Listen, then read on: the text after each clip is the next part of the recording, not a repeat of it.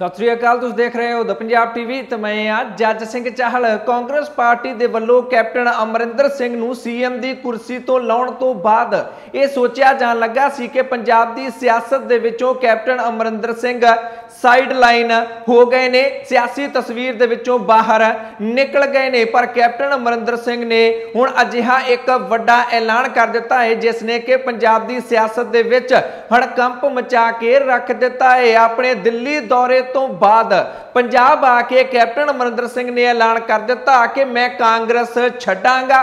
ਭਾਜਪਾ ਦੇ ਵਿੱਚ ਨਹੀਂ ਜਾਵਾਂਗਾ ਅਤੇ ਅਗਲਾ ਸਿਆਸੀ ਐਕਸ਼ਨ ਮੈਂ ਛੇਤੀ ਹੀ ਅਨਾਉਂਸ ਕਰ ਦਿਆਂਗਾ ਕੈਪਟਨ ਅਮਰਿੰਦਰ ਸਿੰਘ ਦੇ ਇਸ ਐਲਾਨ ਤੋਂ ਬਾਅਦ ਕਾਂਗਰਸ ਪਾਰਟੀ ਨੂੰ ਹੱਥਾਂ ਪੈਰਾਂ ਦੀ ਪੈਂਦੀ ਦਿਖਾਈ ਦਿੰਦੀ ਹੈ ਵਿਰੋਧੀ ਪਾਰਟੀਆਂ ਨੂੰ ਕੁਝ ਵੀ ਸਮਝ ਨਹੀਂ ਆ ਰਿਹਾ ਹੈ ਕਿ ਆਖਰ ਕੈਪਟਨ ਕਰਨਗੇ ਕੀ ਸਾਰਿਆਂ ਬਾਰੇ ਤੁਹਾਨੂੰ ਦੱਸਦੇ ਹਾਂ ਪਰ ਸਭ ਤੋਂ ਪਹਿਲਾਂ ਤੁਹਾਨੂੰ ਕੈਪਟਨ ਅਮਰਿੰਦਰ ਸਿੰਘ ਦਾ ਇਹ ਹੜਕੰਪ ਮਚਾਉਣ ਵਾਲਾ ਬਿਆਨ ਹੀ ਸੁਣਾ ਦਿੰਨੇ ਆ डोपा डोभाल साहब हमारे एनएसए हैं matters relating to security हैं, जो मैं आपके साथ नहीं शेयर करूँगा। लेकिन मैं चार साल से देख रहा हूँ क्या हो रहा है पंजाब में, और उनके साथ शेयर किया है। डेली ड्रोन आ रही हैं। जो ड्रोन पकड़े जाते हैं, ठीक है। जो नहीं पकड़े जाते, वो कहाँ जा रहे हैं? क्या काम है उनका? कौन उठा रहा है उनको? ये सारी बातें नेशनल सिक्योरिटी केस के साथ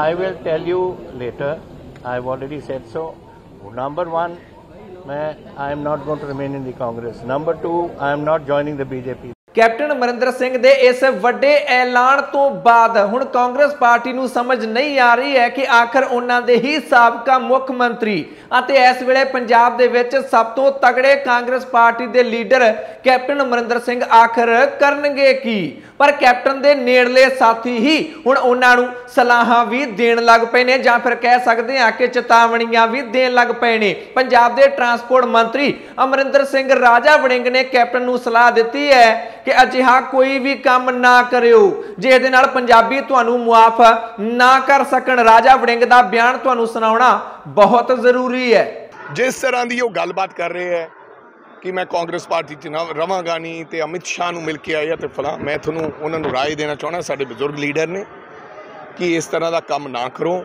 ਪਹਿਲਾਂ ਹੀ ਲੋਕ ਬੜੇ ਉਦਾਸ ਤੇ ਪਰੇਸ਼ਾਨ ਸੀਗੀ ਕਿ ਕਈ ਕੰਮ ਜਿਹੜੇ ਵਾਅਦੇ ਕੀਤੇ ਸੀ ਉਹ ਪੂਰੇ ਨਹੀਂ ਹੋ ਸਕੇ।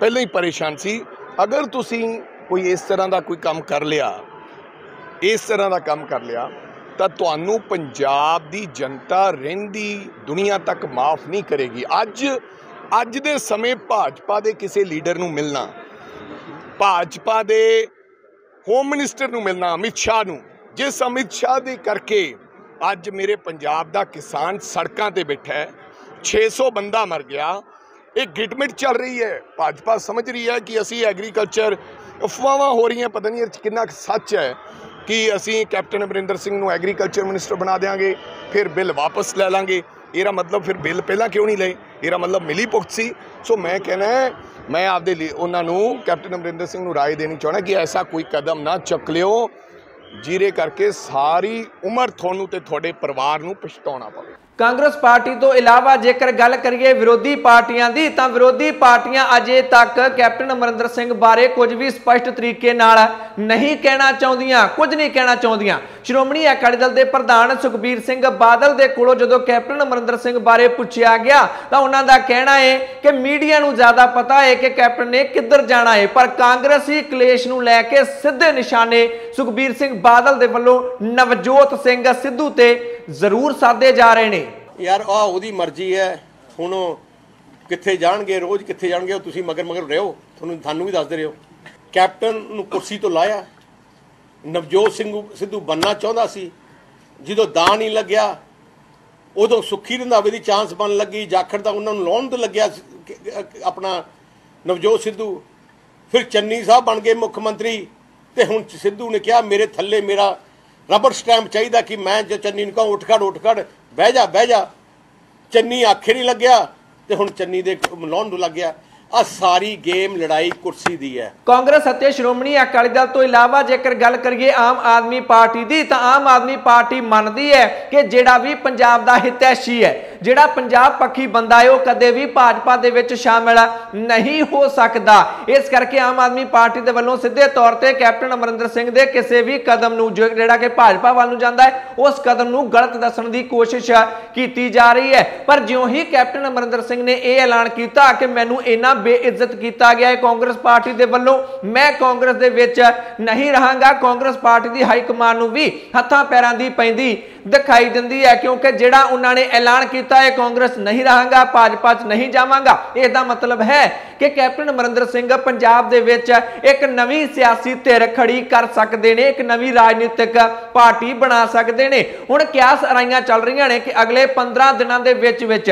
ਕੈਪਟਨ ਅਮਰਿੰਦਰ ਸਿੰਘ ਦੇ ਵੱਲੋਂ ਨਵੀਂ ਰਾਜਨੀਤਿਕ ਪਾਰਟੀ ਦਾ ਐਲਾਨ ਕੀਤਾ ਜਾ ਸਕਦਾ ਹੈ। ਕਾਂਗਰਸ ਪਾਰਟੀ ਨੂੰ ਚਿੰਤਾ ਇਹ ਹੈ ਕਿ ਜੇਕਰ ਕੈਪਟਨ ਅਮਰਿੰਦਰ ਸਿੰਘ ਆਪਣੀ ਰਾਜਨੀਤਿਕ ਪਾਰਟੀ ਬਣਾਉਂਦੇ ਨੇ, ਤਾਂ ਕਾਂਗਰਸ ਪਾਰਟੀ, ਜਿਹੜੇ ਕਿ ਮੌਜੂਦਾ ਕਾਂਗਰਸ ਪਾਰਟੀ ਦੇ ਵਿੱਚ ਤਗੜੇ ਤਗੜੇ ਲੀਡਰ ਨੇ ਐਮਐਲਏ ਐਮਪੀ ਸਾਬਕਾ ਵਿਧਾਇਕ ਉਹਨਾਂ ਦੇ ਵਿੱਚੋਂ ਕਈ ਵੱਡੇ ਚਿਹਰੇ ਕੈਪਟਨ ਅਮਰਿੰਦਰ ਸਿੰਘ ਦੇ ਨਾਲ ਜਾ ਸਕਦੇ ਨੇ। ਇਹ ਜਦੋਂ ਐਲਾਨ ਕੀਤਾ ਗਿਆ, ਪੰਜਾਬ ਆ ਕੇ ਕੈਪਟਨ ਅਮਰਿੰਦਰ ਸਿੰਘ ਦੇ ਵੱਲੋਂ ਉਦੋਂ ਵੀ ਤਸਵੀਰਾਂ ਦੇ ਵਿੱਚ ਵੇਖਿਆ ਜਾ ਸਕਦਾ ਹੈ ਕਿ ਐਮਪੀ ਸੰਸਦ ਮੈਂਬਰ ਕਾਂਗਰਸ ਪਾਰਟੀ ਦੇ ਮੁਹੰਮਦ ਸਦੀਕ, ਕੈਪਟਨ ਅਮਰਿੰਦਰ ਸਿੰਘ ਦੇ ਮੋਢੇ ਨਾਲ ਮੋਢਾ ਲਾ ਕੇ ਖੜੇ ਦਿਖਾਈ ਦਿੰਦੇ ਨੇ, ਕਿਉਂਕਿ ਮੰਨਿਆ ਜਾਂਦਾ ਹੈ ਕਿ ਪੰਜਾਬ ਦੇ ਵਿੱਚ ਕਾਂਗਰਸ ਪਾਰਟੀ ਦੇ 8 ਐਮਪੀ 8 ਦੇ 8 ਸੰਸਦ ਮੈਂਬਰ ਕੈਪਟਨ ਅਮਰਿੰਦਰ ਸਿੰਘ ਦੇ ਬੇਹੱਦ ਖਾਸ ਨੇ ਅਤੇ ਜੇਕਰ ਸੰਸਦ ਮੈਂਬਰ ਹੀ ਕੈਪਟਨ ਅਮਰਿੰਦਰ ਸਿੰਘ ਦੇ ਨਾਲ ਚਲੇ ਜਾਣਗੇ। ਤਾਂ ਫਿਰ ਕਾਂਗਰਸ ਪਾਰਟੀ ਦੇ ਕੋਲ ਪੰਜਾਬ ਦੇ ਵਿੱਚ ਬਚੇਗਾ ਕੀ? ਹਾਲਾਂਕਿ ਕੈਪਟਨ ਅਮਰਿੰਦਰ ਸਿੰਘ ਦੀ ਪਤਨੀ ਪਟਿਆਲਾ ਤੋਂ ਸੰਸਦ ਮੈਂਬਰ ਪਰਨੀਤ ਕੌਰ ਦੇ ਵੱਲੋਂ ਐਲਾਨ ਕਰ ਦਿੱਤਾ ਗਿਆ ਹੈ ਕਿ ਮੈਂ ਕਾਂਗਰਸ ਪਾਰਟੀ ਨਹੀਂ ਛੱਡਾਂਗੀ। ਜਦੋਂ ਕੈਪਟਨ ਅਮਰਿੰਦਰ ਸਿੰਘ ਤੋਂ ਪੁੱਛਿਆ ਗਿਆ ਕਿ ਕਾਂਗਰਸ ਪਾਰਟੀ ਦੇ ਵਿੱਚੋਂ ਤੁਹਾਡੇ ਨਾਲ ਕੌਣ-ਕੌਣ ਜਾਏਗਾ, ਤੁਸੀਂ ਛੱਡ ਰਹੇ ਹੋ ਪਾਰਟੀ, ਨਵਾਂ ਕੁਝ ਕਰਨ ਜਾ ਰਹੇ ਹੋ, ਤੁਹਾਡੇ ਨਾਲ ਕੌਣ-ਕੌਣ ਆਏਗਾ? ਉਹਨਾਂ ਨੇ ਹੱਸ ਕੇ ਪੱਤਰਕਾਰਾਂ ਨੂੰ ਜਵਾਬ ਦਿੱਤਾ ਕਿ ਮੈਂ ਇਸ ਬਾਰੇ ਤੁਹਾਨੂੰ ਕੁਝ ਵੀ ਨਹੀਂ ਦੱਸਾਂਗਾ। ਇਸ ਦਾ ਮਤਲਬ ਹੈ ਕਿ ਬਹੁਤ ਸਾਰੇ ਵੱਡੇ ਚਿਹਰੇ ਪੰਜਾਬ ਕਾਂਗਰਸ ਦੇ ਉਹਨਾਂ ਦੇ ਸੰਪਰਕ ਦੇ ਵਿੱਚ ਨੇ ਅਤੇ ਜਦੋਂ ਹੀ ਕੈਪਟਨ ਅਮਰਿੰਦਰ ਸਿੰਘ ਕੋਈ ਨਵੀਂ ਰਾਜਨੀਤਿਕ ਧਿਰ ਖੜੀ ਕਰਨਗੇ, ਕਾਂਗਰਸ ਪਾਰਟੀ ਨੂੰ ਪੰਜਾਬ ਦੇ ਵਿੱਚ ਖਾਸ ਤੌਰ ਤੇ ਵੱਡਾ ਝਟਕਾ ਲੱਗ ਸਕਦਾ ਹੈ। ਨਵਜੋਤ ਸਿੰਘ ਸਿੱਧੂ ਵੀ ਰੁੱਸੇ ਫਿਰਦੇ ਨੇ। ਕੈਪਟਨ ਅਮਰਿੰਦਰ ਸਿੰਘ ਨਵੀਂ ਪਾਰਟੀ ਬਣਾਉਣ ਜਾ ਰਹੇ ਨੇ। ਕੈਪਟਨ ਅਤੇ ਸਿੱਧੂ ਹੀ ਜੇਕਰ ਕਾਂਗਰਸ ਦੇ ਵਿੱਚੋਂ ਪੰਜਾਬ ਦੇ ਵਿੱਚੋਂ ਨਿਕਲ ਜਾਣਗੇ, ਤਾਂ ਪੰਜਾਬ ਦੇ ਵਿੱਚ ਕਾਂਗਰਸ ਪਾਰਟੀ ਦਾ ਵਜੂਦ ਕੀ ਰਹਿ ਜਾਏਗਾ, ਇਹਦਾ ਅੰਦਾਜ਼ਾ ਸਹਿਜੇ ਹੀ ਲਾਇਆ ਜਾ ਸਕਦਾ। ਇਸੇ ਕਰਕੇ ਹੀ ਹੁਣ ਖਬਰਾਂ ਆ ਰਹੀਆਂ ਨੇ ਕਿ ਸੋਨੀਆ ਗਾਂਧੀ ਦੇ ਵੱਲੋਂ ਕਮਲਨਾਥ ਅਤੇ ਅੰਬਿਕਾ ਸੋਨੀ ਦੀ ਡਿਊਟੀ ਲਾਈ ਗਈ ਹੈ ਕਿ ਕੈਪਟਨ ਅਮਰਿੰਦਰ ਸਿੰਘ ਨੂੰ ਮਨਾਇਆ ਜਾਣਾ ਚਾਹੀਦਾ ਹੈ। ਤਾਂ ਜੋ ਉਹ ਕਾਂਗਰਸ ਪਾਰਟੀ ਨੂੰ ਨਾ ਛੱਡਣ। ਪਰ ਕੈਪਟਨ ਦੇ ਤੇਵਰਾਂ ਤੋਂ ਲੱਗਦਾ ਹੈ ਕਿ ਉਹ ਹੁਣ ਵਾਪਸ ਨਹੀਂ ਮੁੜਨਗੇ ਅਤੇ ਉਹਨਾਂ ਨੇ ਆਪਣੀ ਨਵੀਂ ਪਾਰਟੀ ਬਣਾਉਣੀ ਹੀ ਹੈ। ਲਗਭਗ ਇਹ ਸਪਸ਼ਟ ਹੁੰਦਾ ਦਿਖਾਈ ਦਿੰਦਾ ਹੈ। ਪਰ ਇੱਥੇ ਇੱਕ ਸਵਾਲ ਤੁਹਾਡੇ ਕੋਲੋਂ ਪੁੱਛ ਲੈਣਾ ਚਾਹੁੰਦੇ ਆ ਕਿ ਜੇਕਰ ਕੈਪਟਨ ਅਮਰਿੰਦਰ ਸਿੰਘ ਪੰਜਾਬ ਦੇ ਵਿੱਚ ਕੋਈ ਨਵੀਂ ਰਾਜਨੀਤਿਕ ਪਾਰਟੀ ਬਣਾਉਂਦੇ ਨੇ, ਤਾਂ ਕੀ ਉਹ ਕਾਮਯਾਬ ਹੋ ਸਕਣਗੇ ਪੰਜਾਬ ਦੇ ਲੋਕ ਉਹਨਾਂ ਦੀ ਨਵੀਂ ਸਿਆਸੀ ਪਾਰਟੀ ਨੂੰ ਸਵੀਕਾਰ ਕਰਨਗੇ ਜੋ ਵੀ ਤੁਹਾਨੂੰ ਲੱਗਦਾ ਹੈ ਕਮੈਂਟ ਕਰਕੇ ਆਪਣੀ رائے ਜ਼ਰੂਰ ਦਿਓ ਜੇਕਰ ਇਸੇ ਤਰ੍ਹਾਂ ਹੀ ਹਰ ਖਬਰ ਨੂੰ ਨਿਰਪੱਖਤਾ ਨਾਲ ਦੇਖਦੇ ਰਹਿਣਾ ਚਾਹੁੰਦੇ ਹੋ ਤਾਂ YouTube ਤੇ ਦਾ ਪੰਜਾਬ ਟੀਵੀ ਦੇ ਚੈਨਲ ਨੂੰ ਸਬਸਕ੍ਰਾਈਬ ਕਰ ਲਓ ਬੈਲ ਵਾਲਾ ਬਟਨ ਜ਼ਰੂਰ ਦਬਾ ਲੈਣਾ ਜੇਕਰ ਇਹ ਖਬਰ ਤੁਸੀਂ Facebook ਤੇ ਦੇਖ ਰਹੇ ਹੋ ਤਾਂ Facebook ਤੇ ਦਾ ਪੰਜਾਬ ਟੀਵੀ ਦਾ ਪੇਜ ਲਾਈਕ ਕਰ ਲਓ ਮੈਂ ਜੱਜ ਸਿੰਘ ਚਾਹਲ ਅਗਲੀ ਵਾਰ ਫਿਰ ਹਾਜ਼ਰ ਹੋਵਾਂਗਾ ਤੁਸੀਂ ਦੇਖਦੇ ਰਹੋ ਦਾ ਪੰਜਾਬ ਟੀਵੀ ਹਰ ਖਬਰ ਦਾ ਸੱਚ